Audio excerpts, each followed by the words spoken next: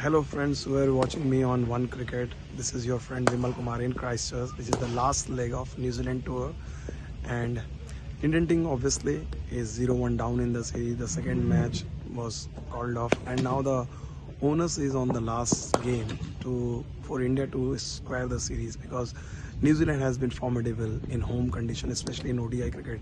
Since 2019, they haven't lost a single ODI series.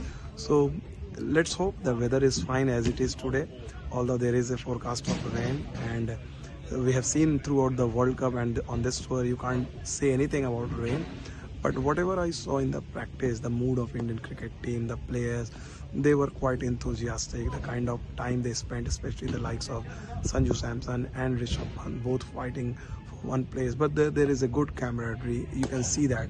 We may talk from outside, you know, one versus other and other other stuff.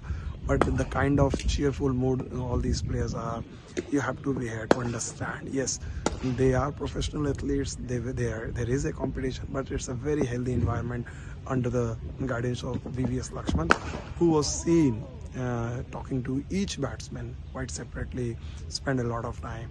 So these are the important uh, things I, I, I could notice and uh, in the press conference.